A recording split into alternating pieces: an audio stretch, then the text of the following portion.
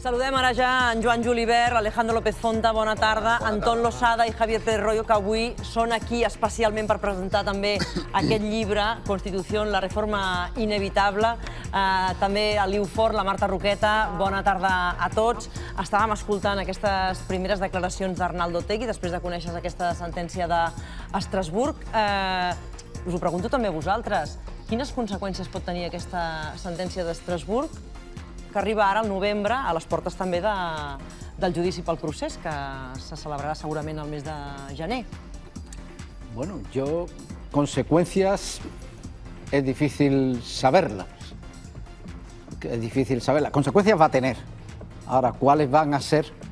Entre otras cosas, porque esta sentencia ahora tiene que ser interpretada y, entre otras cosas, tiene que ser interpretada también por el Tribunal Supremo Español, por el Tribunal Supremo Español, que es el que ha sido condenado, ha sido condenado el Estado español como consecuencia de que ha habido una condena por, de una, por un juez no imparcial un juez no imparcial, que este es el motivo por el cual esta ha sido la vulneración del Convenio Europeo de Derechos Humanos, que es también vulneración de la Constitución española, porque la exigencia del juez imparcial está en el derecho a la tutela judicial efectiva que figura en el artículo 24 de la Constitución. Entonces, la condena es grave porque condena al Tribunal Supremo y condena al Tribunal Constitucional que no ha remediado la vulneración que se ha producido por parte del Tribunal Supremo de este derecho fundamental. ¿no?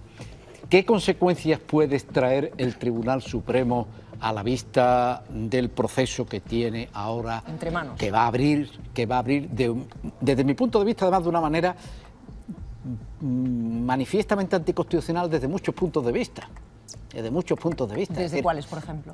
El primer, eh, que se ha vulnerado el derecho al juez ordinario predeterminado por la ley ni la Audiencia Nacional ni el Tribunal Supremo pueden ser el juez ordinario predeterminado por la ley para entender de la conducta de eh, Carles Puigdemont, aunque Carles Puigdemont ahora mismo no está, y ahora indicaré que ese es otro motivo de anticonstitucionalidad, pero de Oriol Jonqueras, de los demás consejeros, de, mm, de Carmen Forcadell, etcétera derecho al juez ordinario predeterminado por la ley. Este, este, derecho, esto tendría que haberse juzgado en Cataluña, en el Tribunal Superior de Justicia de Cataluña. Al haberse vulnerado ese derecho, se ha vulnerado el derecho a la segunda instancia, que es un derecho clave en el derecho penal.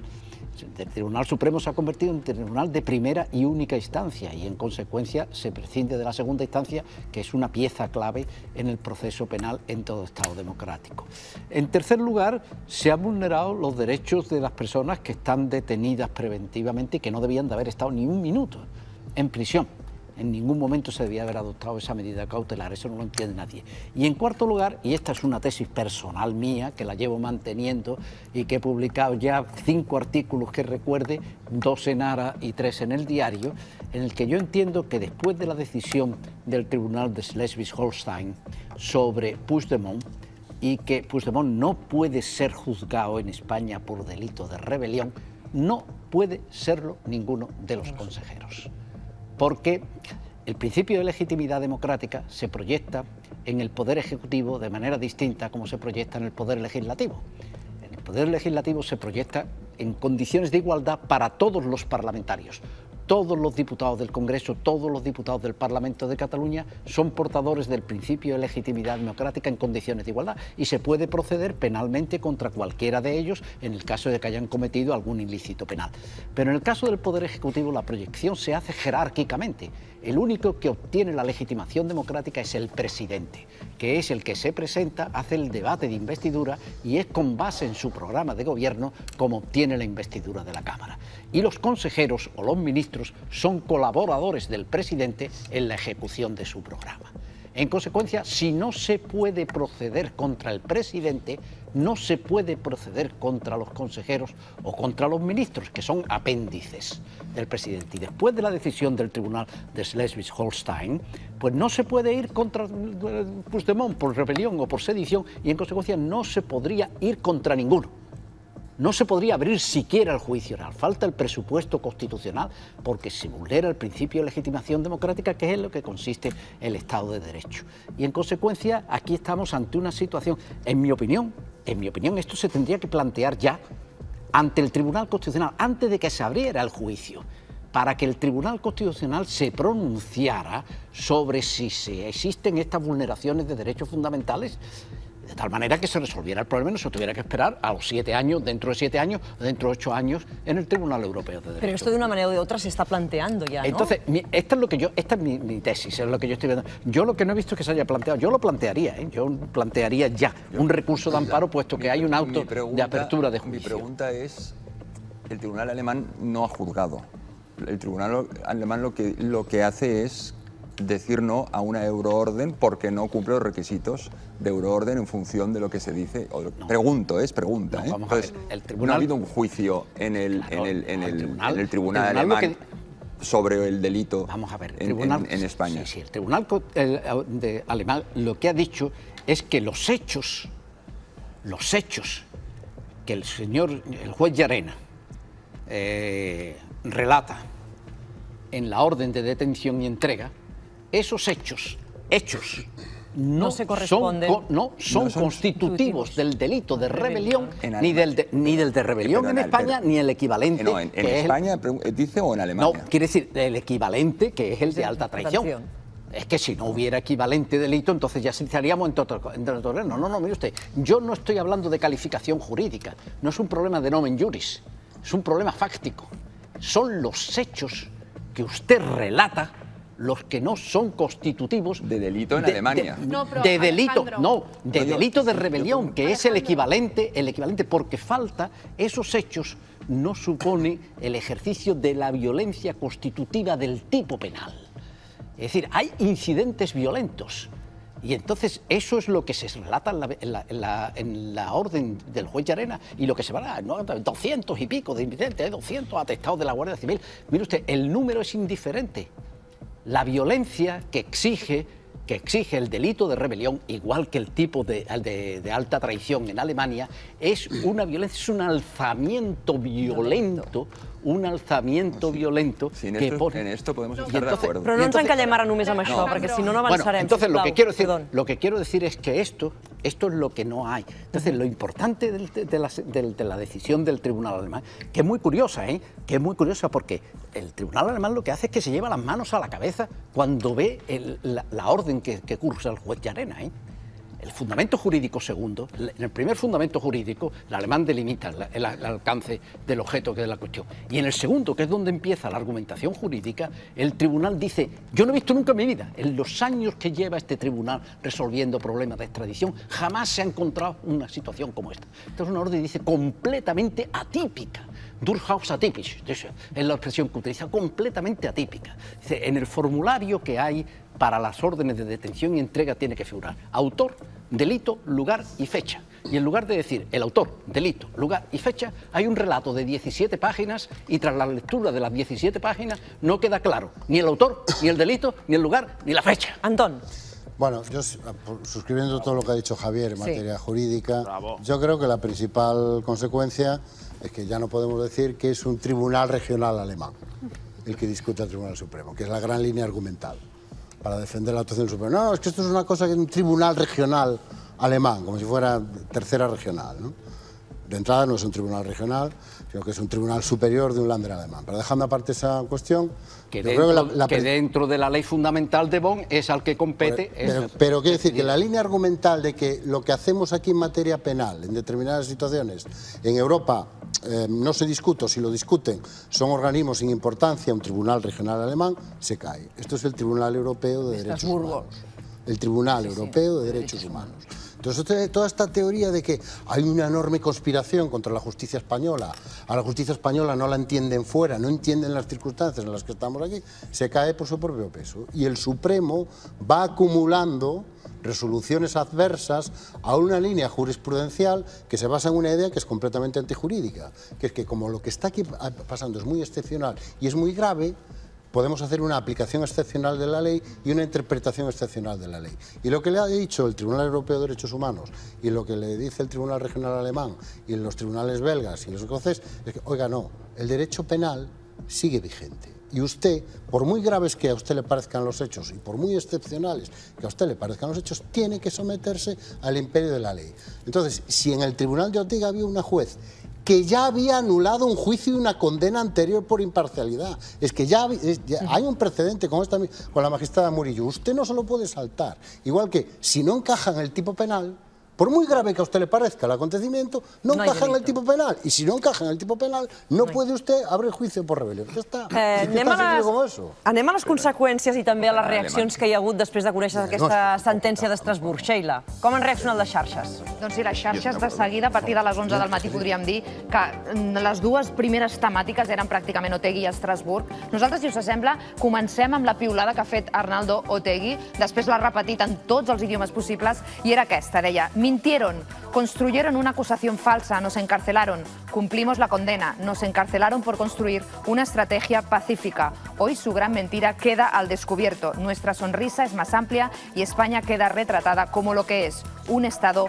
antidemocràtic. Lògicament, aquesta decisió eh, hi ha qui l'ha celebrat i també eh, hi ha hagut qui li ha molestat i força. Nosaltres anem a fer un recull de totes les opinions, de totes les reaccions, i comencem precisament amb la del president de la Generalitat, que es mostrava molt satisfet i deia la justícia espanyola cada vegada més qüestionada a Europa. Si ens n'anem a la piulada que feia l'expresident de la Generalitat, Carles Puigdemont, feia precisament un recordatori i amb aquest titular que deia només per recordar les darreres decisions del Tribunal Europeu de Drets Humans contra Espanya culpable d'haver violat drets fonamentals en un sistema democràtic i a través de titulars, com dèiem, de diferents publicacions feia el següent recordatori. Estrasburg condemna Espanya per haver culpat a Tutxa de desobediència sense un judici just. El següent recordatori, condemna Espanya cremar fotos del rei és llibertat d'expressió i, lògicament, acabava amb la fotografia, el titular del cas que estem comentant ara. Doncs bé, si ens n'anem a una altra de les reaccions, precisament el vicepresident de la Generalitat,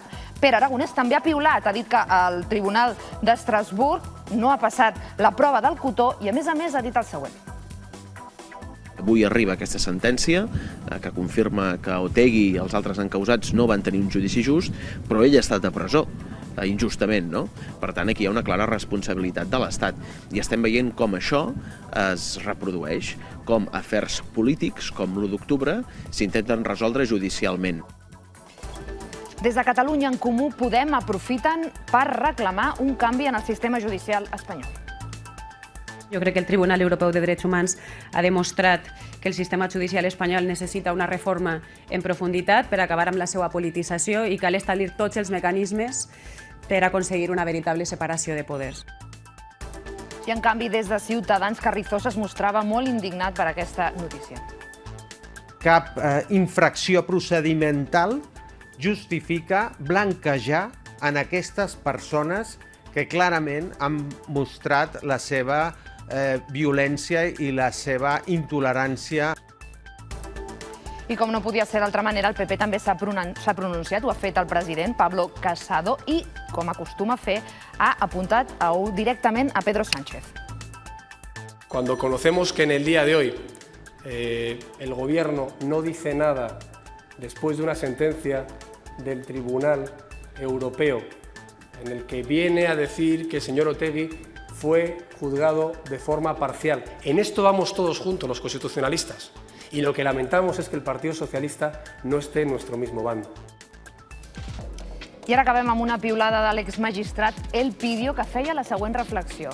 Deia, La justicia española ya ha arruinado nuestra imagen democrática. El coste reputacional llegará a ser inasumible en lo moral y en lo económico. Estrasburgo sentencia que el tribunal que condenó por terrorismo a Otegui no fue imparcial. Elena, fins aquí totes les opinions i les reaccions més destacades. Y això, eh, le iba a preguntar, profesor, ¿y esto cómo se repara? Estos seis años y medio que Otegui, por ejemplo, ha estado en prisión... Ha dicho profesor y te ha mirado a ti. Eso. Eso, repararlo, repararlo. Hay cosas que no tienen reparación. A mí no. Los seis años y pico que han estado de falta de libertad, eso ya no tienen reparación. Esos seis años y medio, el hecho de que se muriera su madre y él estuviera en prisión y que eso que él ha hablado, eso ya no tiene reparación posible. Ahora estamos también pendientes de la inhabilitación, ahora, por ejemplo. Bueno, sí, ahora, tendrá, bueno, ahora, una vía, ahora eso es lo que tendrá que estudiar ahora, en fin, los abogados de, de Otegui tendrán que estudiar y ver exactamente qué es lo que... Y luego, pues ver la responsabilidad que se le pueda exigir al Estado evidentemente, porque por ese tiempo, por ese tiempo, por eso que ha estado privado de libertad, ¿no? Pero, pero obviamente lo más importante, los seis años y medio de pérdida sí, de libertad, sí, se me eso ya no tienen solución. Yo ya no en, la- en las declaraciones que acabamos de oír que me parecen realmente asombrosas, tanto la de Carrizosa como la de Pablo Casado, que es, es un poco Charles Bronson, ¿no? Yo soy la justicia. Entonces, justicia es lo que nosotros decimos que es justicia. Derecho es lo que nosotros decimos que es derecho y constitución es lo que nosotros decimos que es... Y si un tribunal nos quita la razón, se equivoca el tribunal. Pues que, claro, Carrizosa diciendo que el tribunal ha blanqueado a Otegui y eh, Pablo Casado diciendo los constitucionalistas tendríamos que estar todos juntos en la defensa del Estado de Derecho, que es lo que hacen tribunales como el Tribunal Europeo. O sea, El ser constitucionalista no debería significar estar contra algo, sino que se debería significar defender el imperio de la ley, que es lo que hace el Tribunal Europeo de Imponerle al Derechos Humanos. presidente del gobierno que se revele contra Claro. el Tribunal Europeo de Derechos Humanos. Y eso un Es que es- constitucionalista. Que es una locura.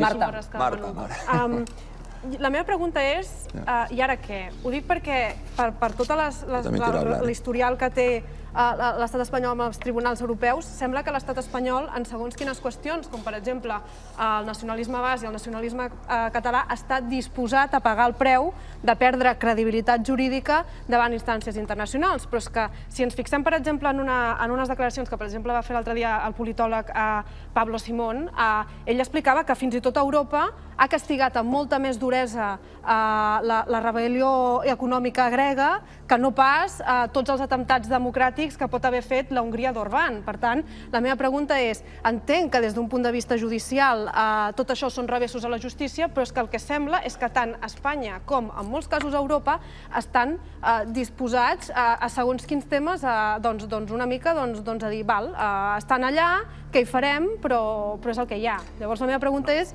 qui, qui, què implica això jurídicament en el relat polític en el moment en què s'ha polititzat la justícia? No, vamos a ver, esto es una sentencia del Tribunal Europeo de Derechos Humanos.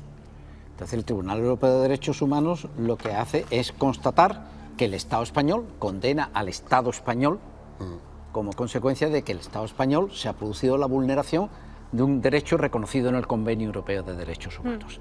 Y ahí después se establecerá pues cuáles las consecuencias que se extraen de yo no he visto la sentencia todavía, no he visto la sentencia todavía, la veré cuando esta tarde, la veré pues, esta, esta noche cuando cuando llegue al hotel la miraré y entonces veré exactamente cuál es la parte dispositiva de la sentencia. Pero son ya unos cuantos toques de atención que está la- recibiendo. Está recibiendo, está recibiendo. En términos generales, española. en términos generales, vamos a ver, en términos generales, la justicia española no está recibiendo más toques de atención de media, Que lo- de media que la que están teniendo los demás países europeos. Lo que ocurre es que nosotros tenemos el problema del So- País Vasco y el problema de sobre el Cataluña. tema na- problema de los nacionalismos- Aquí es donde está. Y desde mi punto de vista, además, en el caso más claro es el caso del proceso.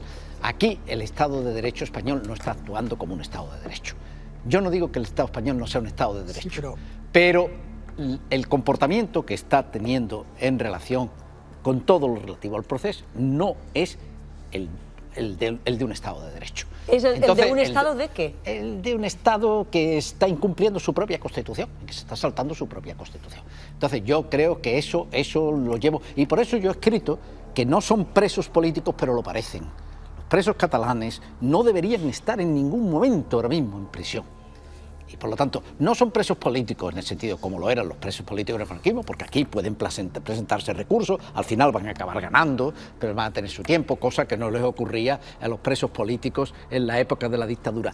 Pero estos señores no deberían de haber entrado en la cárcel ni un solo momento. Arnaldo Tegui hablaba de la transición ¿Eh? española Eso, y eso, eso para mí, eso para mí es de una cosa clarísima. Y desde luego que se están saltando garantías constitucionales, para mí no cabe la menor duda, la menor duda. Lo que hizo el fiscal general, pasa que se murió, y entonces cuando alguien se ha muerto, pues parece que ya es difícil, porque como no puede defenderse, decir algo, pero, pero la conducta del señor Maza, de José Manuel Maza, fue terrible, fue terrible. Eso, eso es in- eso es injustificable desde ningún punto de vista, desde ningún punto de vista. Joan. Sí, eh, subscrivint tot el, el que diu el senyor Pérez Royo eh, i en la línia del que deia la Marta, és que jo crec que l'Estat està disposat a pagar aquesta factura del descrèdit internacional perquè, entre altres coses, no li passarà res. És a dir, hi haurà sancions contra els jutges que s'han saltat reiteradament les normes constitucionals espanyoles que van en la línia del dret internacional dels drets, de, dels drets humans.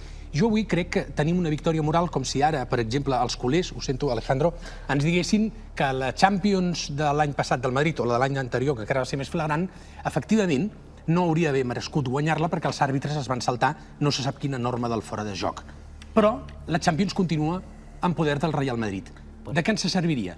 Bueno, yo creo Sería que... una victoria moral, no estaríem molt bien. contents perquè s'ha reconegut... Vamos a no comparar cosas que me parece que la comparación frivoliza un poco un tema que no se debe frivolizar. ¿eh?